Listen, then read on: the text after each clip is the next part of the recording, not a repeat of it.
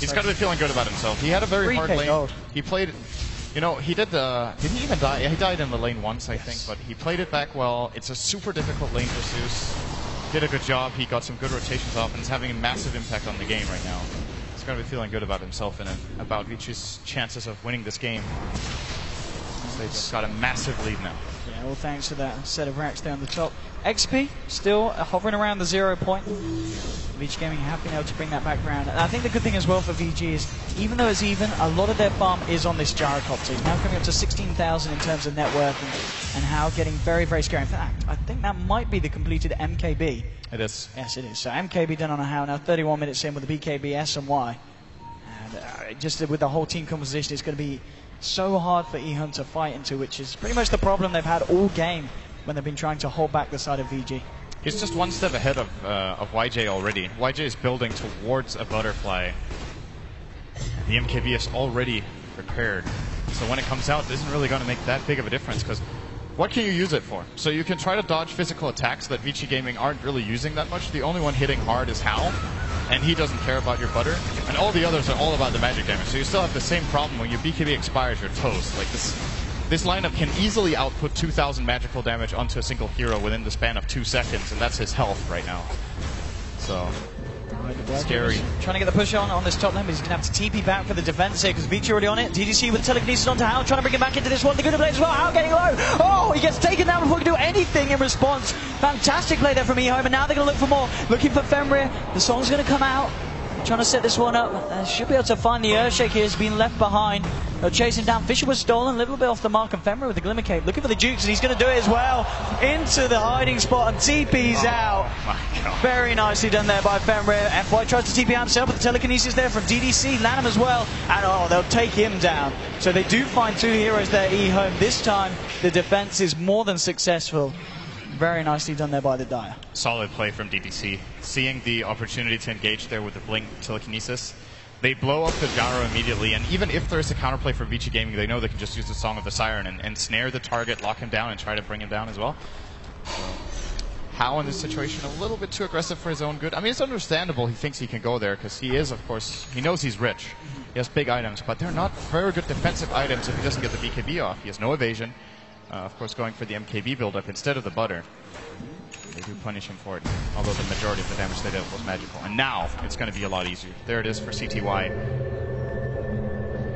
Is going to grab Guardian Greaves, so no mobility item for him. I guess they've got the initiation of LaNm with the song and set it up for a nice vacuum wall combination coming out from ROTK. So size continuing to be incredibly rich. 2,300 now on top of the Blink Dagger he's found on that Bloodstone. So the farm's still looking very, very good for Zeus. Roshan is now back up, and it's, kind of a question whether whether Vici feel confident enough to go for it. Feel it's going to be a little bit tricky, especially when you're doing it up against a lineup with the Naga who does have the song back online in 20 seconds. So they're going to try for it anyway. They're moving in. They're going to go for this one. Uh, They're going to start it off here, VG. But I'm sure EHM are going to have to have something that they want to say about it. They're making their way towards the pit here. Uh, I don't if VG want to keep, keep themselves sticking around. LaNm's got the ult available. I think VG realise it might be a little bit too risky to go for Rosh now. If nothing else, they get a lot of information out of going for that play. They they find out eHome's heroes. They force a rotation. They just wait now. The public- DDC Yeah. blinking forward. Are they able to disperse of House straight away as well? Oh, the Glimmer Cape is going to buy him time. The wall has been dropped. Now the corner. Hao with the BKB trying to turn this round, moving in. But the Laguna Blade is too much damage. CTY is able to take down the Giant out LaNm with the Song of the Siren. They're looking for more here. Will they be able to find it? Moving in onto Fenrir. Fenrir getting low. Move on the charges. They'll lose him. It's going to be three down, but they have found two response. YJ is still alive here. Trying to get a hit out, but Ice Ice Size, he might be able to clean this one up. There's a ball. Double kill now for Ice Ice Size. EO and four of them hitting the deck. It's only DDC able to escape.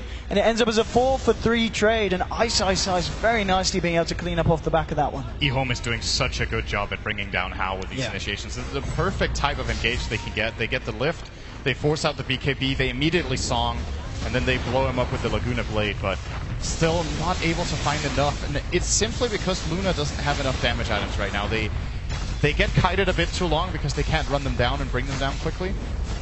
Ultimately, when the BKBs expire, Vici's lineup is just Oh, he's found DDC as well. Jumps in, drops a quick bolt. It's going to be a DDC does link himself up. But I've got to say, Ice Ice Ice's performance this game on this offlane Zeus, he's got seven kills, five assists, only died the two times, and he's, he's racking up the gold as well. 5,000 gold in his bank. This is, is great play here from Ice Ice. He could look for a refresher right now. I think it will be the right item. It's going to more or less blow up the Rubik with two ultimates. Uh, it's going to put Dark Seer under a lot of pressure. And of course, you don't have to use it like alt, refresh, alt. You can use your entire array of spells, then refresh and immediately use it again. That way you get six static field procs, you get two ultimates. And of course, the lightning bouncing everywhere. There we go. Good choice. Roshan is now up. Aghs is complete here on the Pugna. And uh, Zeus, uh, yeah, he's picked up straight up. Just buying it casually like that. Completed refresher orb. If he doesn't die in the BKBs of EHOME, he has the potential to set his team up to win like a situation like a two on five in theory. If, if they're all like half health, the BKBs are out. Ice Ice Ice can just be a one man wrecking crew right now. So he'll be Fenrir. He's got 1400 on his way towards that Blink Dagger. We'll see if he's able to pick that up after one more successful fight. Should push him over the edge. But Pugna pretty much in his element now with that Aghs. And also holding the gem, of course, for the team. Four Star is also there ready and waiting. And uh, FY the Disruptor looking for the Aghs. And whoa, that's a lovely party ring with a static storm. And oh, Ice Ice with the ult. Does get Laguna bladed down now with the life drain. They bring down ROTK in response. YJ, CTY, and Hao all using their BKBs. Hao's going to try and chase down CTY here. The Song of the Siren coming out from LaNm And it looks like it's going to be a defensive one as eHome TP themselves out simply trading ROTK for Ice Ice Ice there. I think they're going to be happy that they did manage to kill that Zeus though, because he's been having a great game so far. And as you can see from the golden XP difference, it certainly shows that eHome come out on top there.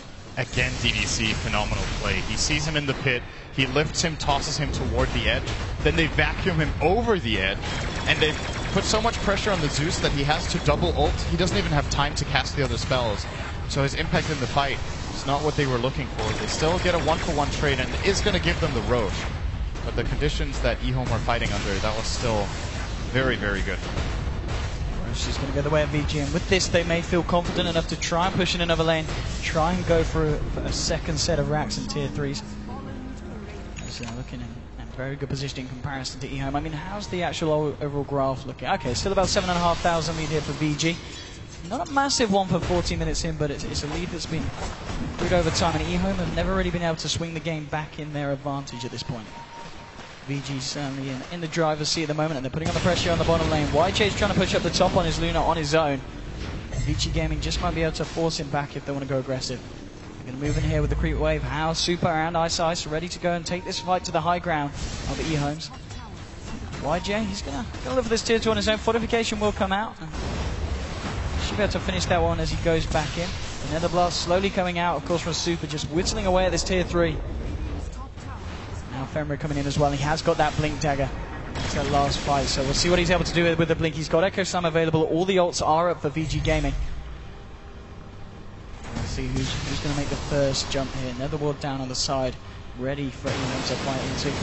I'm just heading up here on the gyrocopter a fair bit, and DDC's just going to jump on in straight away with the telekinesis, but Hao, of course, does have the Aegis, but look at this, with the reverse life drain, healing him up, he's still alive, it will finally go down now. Aegis is there ready for round two. Can they kill him again? That's the question. No, he pops the BKB straight away. They found the tier 3 now. FY moving in as well. And he's trapped LaNm here in the kinetic field and the static storm. They're moving in. They need to kill the Naga. She has got Song available. And with the ult here from YJ, he's actually doing a significant amount of damage. It's not quite enough. Can he kill Ice Ice Ice? Now, Ice Ice Ice gets himself out. Looks like they'll only lose Hao here. Fenrir's actually stuck in the trees. He's got a blink in a second. Will he be able to make it? No, the damage is on him. Earthshaker's all stuck up. They'll find him as well here. The Yule's just slowing down the pace, so they'll get the kill nonetheless. And eHome again with the defense. They hold the base and they force Vici Gaming right back out. They are so good at this high ground defense. I mean, I'm going to sound like a broken record, but again, DDC finds the opening one more time. And they play it perfectly there. They find the kill on the gyro. They have to commit Laguna Blade to the first kill, but just bringing him down, forcing out the BKB immediately after.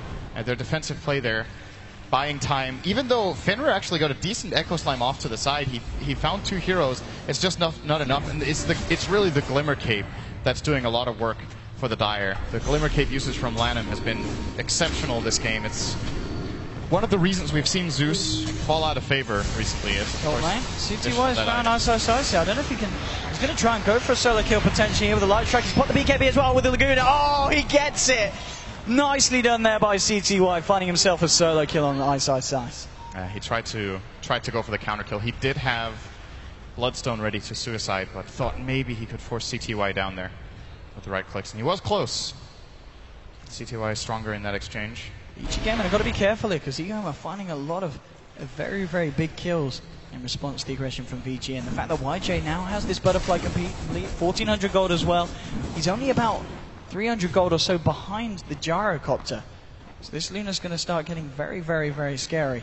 And it's going to be even harder for VG Gaming to, to, to break the base. As, as we've seen so far, pretty much over the last 10 minutes, they, they just haven't been able to do so because eHome take the fight every time.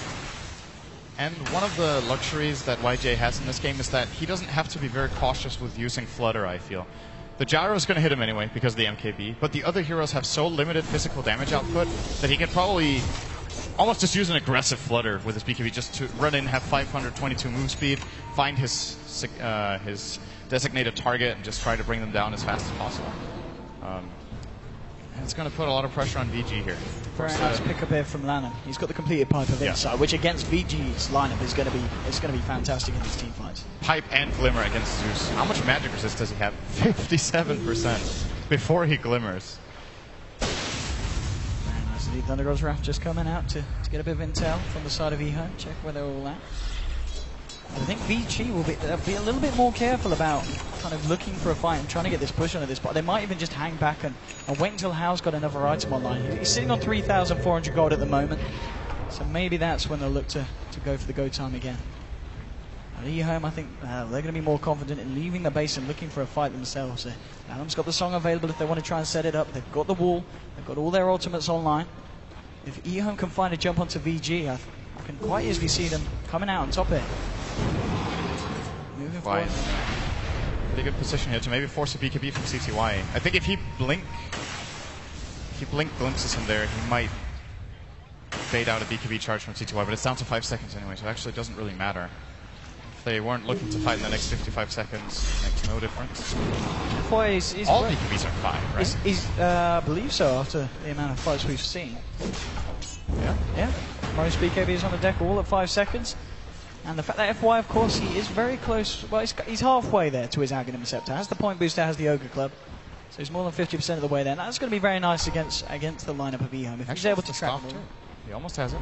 700. Oh, okay, he's got the stuff. Okay. Yeah. Okay. It's very, very close indeed.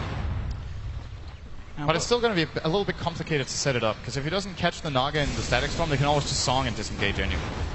And with the 5 second BKBs, the timing has to be exceptional to be able to bring down key targets with both Glimmer Cape and of course Pipe available for LaNm. He's got to complete Satanic. So we've seen in these last few fights, one of the issues for Vici is the fact that they lose Hao at the start every time. Now, if he's able to get that Satanic off, um, oh, it's still going to be very hard because he seems to always get kind of chain stun, chain locked down. He's going to have to hope that he can even get the BKB off before the fight begins, or be allowed that small window to, to activate it in the fight. So otherwise, the Satanic isn't going to be able to do him too much. But I guess at the least, it's going to make him a lot more tankier with the extra HP.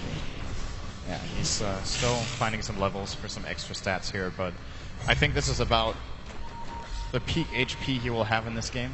He'll have uh, maybe 200 more from stats and level ups, and that's it.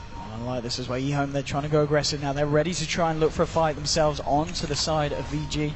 Heading into the jungle here, smoked up. FY's going to back up. Pings are coming out. It looks like they're aware that something's going on.